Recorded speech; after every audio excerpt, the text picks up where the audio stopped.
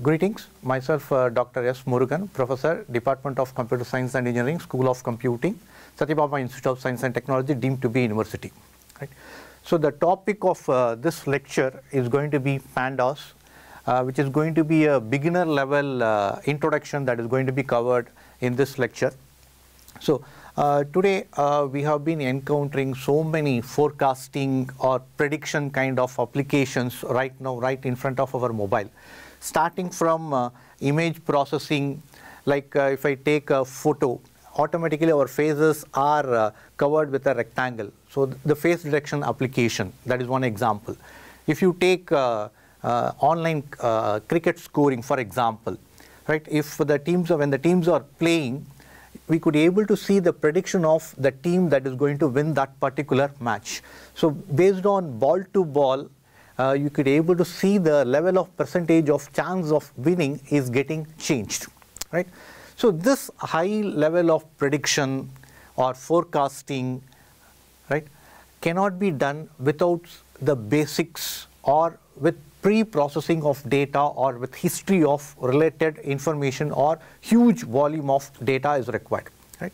So when that much volume of data is there, so we, we come across big data? So one of the implementation of those prediction, the preliminaries or the fundamentals or building up a model or cleaning the data is involved. Right? So to carry out all these things, uh, this pandas is going to be a useful utility which is a part of a Python pro programming language which is going to be a open source environment. Right? So this pandas is going to be an open source Python library and it has a beautiful uh, and expressive data structures which can be uh, uh, homogeneous in case of and can be tabular and uh, heterogeneous or it can be multi-dimensional right? In 2d 3d any type of data we could able to easily handle with uh, pandas right? So when it comes to uh, deep learning we come across the term vectors tensors right so these data is finally granulated into two-dimensional format and those data can be manipulated with the help of this expressive nature of pandas library. It's going to be flexible and it's pretty simple to use with simple uh, syntax and semantics and uh, most importantly one of the useful utility for manipulating numerical data we have NumPy. This pandas is built on top of NumPy library. And the features of pandas, it is going to, we, you could be able to view the data and you could be able to inspect what are the data, what type of data, uh, what are the categories, all those stuff can be done. Then you could be able to filter the data, sort the data in whatever way we want, ascending order, descending order, or based on column, single column, multiple column, anything can be done. We could be able to group the items, right? And if I have uh, two different data, I could able to join them and combine them as well, right? When it comes to model building, we could able to select the data, what data I need. There, uh, when the data set is there, several irrelevant information will be there. So how to remove them or how to correct them or modify them, we could able to do that with the help of the data selection and data cleaning process.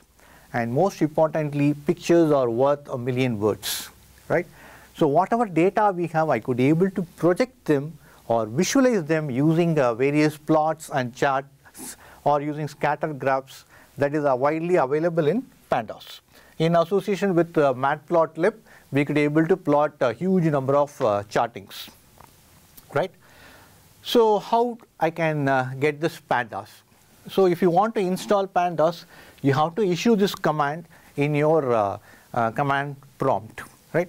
So you might be using some IDEs like Visual Studio Code or PyCharm or whatever it is. We have to uh, install this library uh, as an ex uh, separately. It will. It is not uh, along with uh, Python. It is not shipped, so we have to download it uh, separately. Or if you have Anaconda, by default these libraries is already imported, so you need not install. Okay.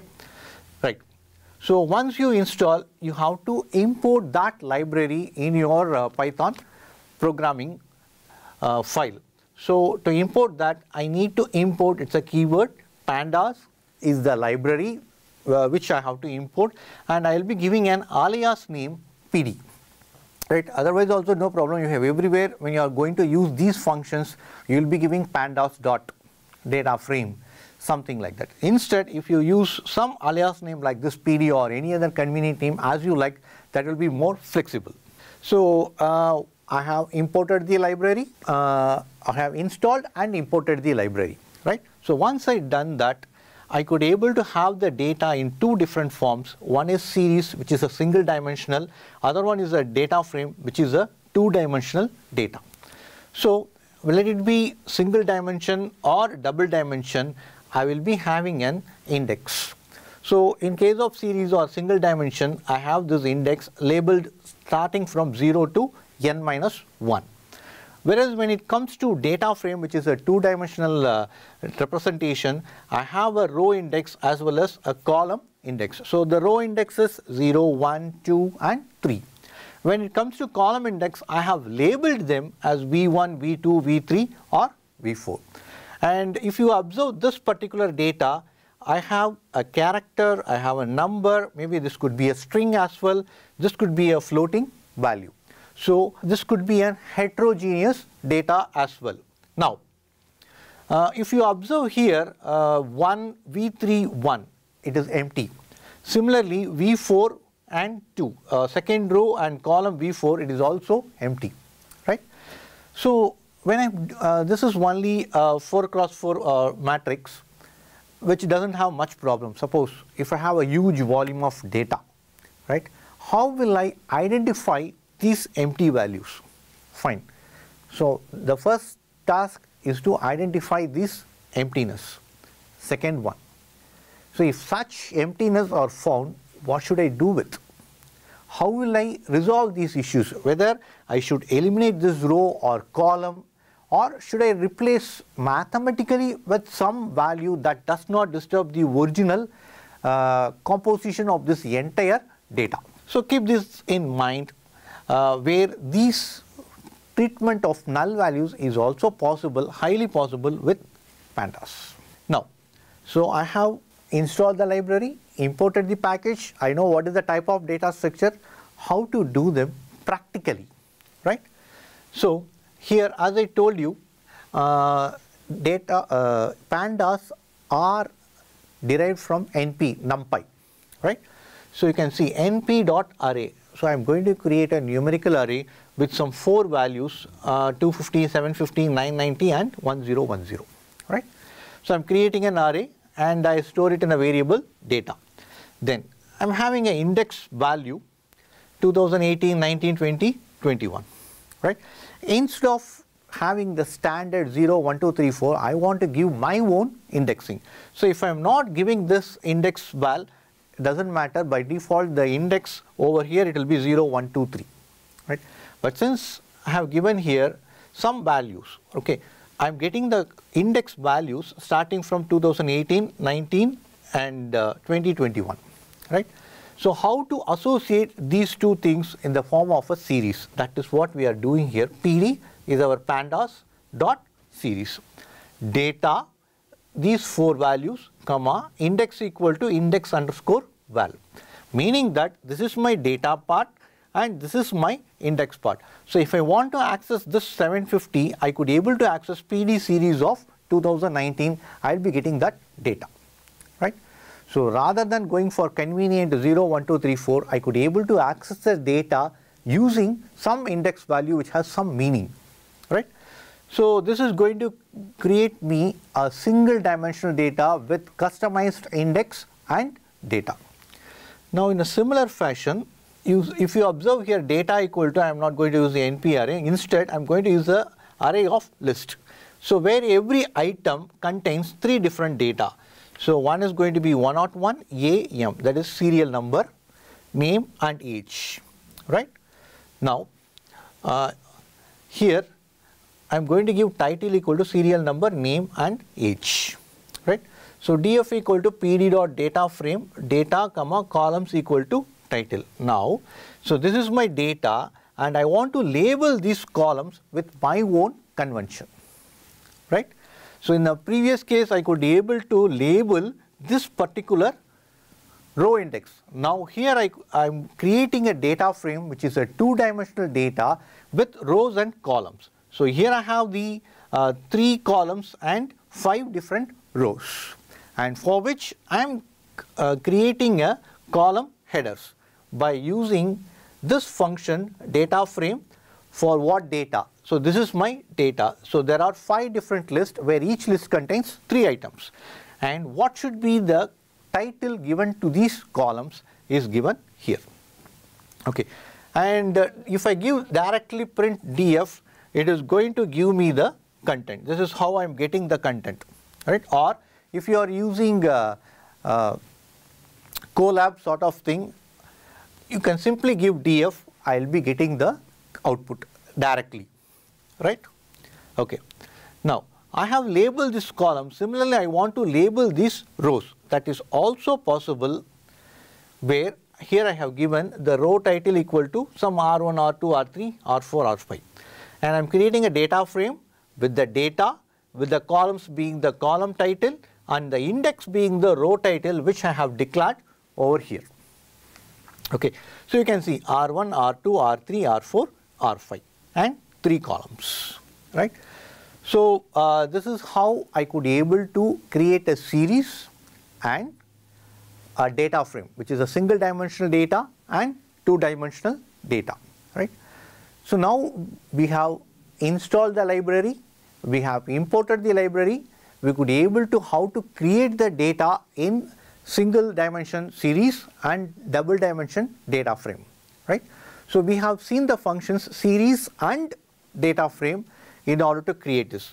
Like this or with this data, I could be able to manipulate with the help of these functions, right. So, if you have a huge volume of data in the form of a CSV, those files you can import and manipulate using the function read CSV what dimension you are importing. The file may be a 2 cross 2 or a 10 cross 2 or a n cross n. So that dimension if you want to manipulate I can use this function shape right. Then how many columns are there? The column names I could able to fetch using this function columns. Then uh, I want to have a sample of my data so maybe 10 rows or 15 rows or 20 rows, I could able to view that with the help of this function head. This is from top 10. Similarly, if I want to see the last 10 records of my data set, it is going to be tail which will be giving me the option. Then, when I'm building a model, I'll be getting the random or sample of data, maybe 10 records or 1000 records or some percentage of data from the random sample. If I want to pick this function is going to help me out right. So, in the beginning I told you some rows and columns may not be of having any impact or important right. If you want to drop some columns then I can use this function drop right. So, as I told you we could able to filter, group, sort right. To do those things I can make use of this function query. I can filter out the data based on some condition or conditions right. It could be individual or it could be a combined or complex queries I could able to make it right. Then I want to group based on some category. So list all the male, list all the age group from some start age to end age. I can do that with the help of group by and do some statistical functions like average or mean or whatever it is, right? I can insert a new column, insert a new row is also allowed with the help of data frame. I can append the data. Then rank the data based on some criteria, right? Then see, uh, memory is one of the vital uh, vital component in any system related or uh, algorithm related component. So if you want to minimize the memory usage, I can use this function memory usage. Then I have been uh, indexing, row indexing, column indexing. If you want to access them, I have two more functions, location and iLocation or index based location. I could able to pull the data, maybe one row or two rows or a set of columns and a set of rows all combined together, I could able to use these functions, right? And finally, plot and scatter in uh, association with matplotlib, we could be able to plot beautiful graphs which gives a lot of information or prediction uh, with the help of this pandas library, right? So uh, we have the data set, we have the list of functions, and how we could be able to manipulate all these things is what pandas does with. Okay. So uh, these are the references that I have taken in order to prepare this presentation. So pandas is the location where we have the library. Then uh, this gives a brief introduction to pandas, how it can be used effectively. And this is one of the data set which is available. Uh, it's open source. We can make it use for practicing pandas with Python. And uh, this cheat sheet where you will be getting in a single PDF all the functions related to pandas with Python is available, right? So to conclude, we know where to import the libraries, how to use it, how to create a series, how to create a data frame, and listed out what are the functions that are available, right? And we have seen some simple examples, right? But this is not going to be the place where we are going to stop. Uh, we have so many examples related with it, and we'll be seeing those examples with live demonstration on the next set of lectures. So thank you for your patience listening.